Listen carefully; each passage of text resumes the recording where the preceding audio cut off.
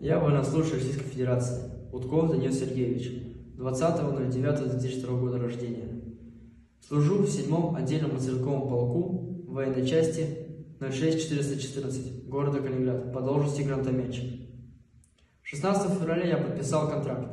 26 числа нас отправляют в командировку. 2 марта мы заходим на территорию Украины, русских тишек, Харьковской области. Через пару недель нас перекидывают Чугуевский район Харьковской области на станцию Граково.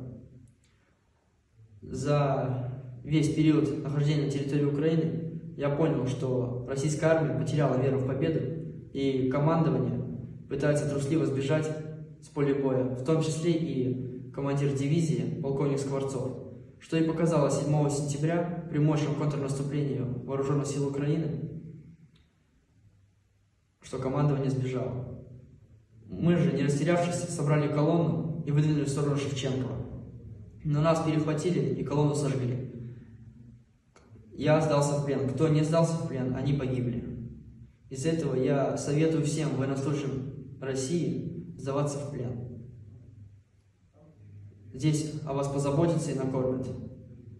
А также матерям и отцам своих сыновей не допускать их контракту, чтобы они не шли на свои жертвы.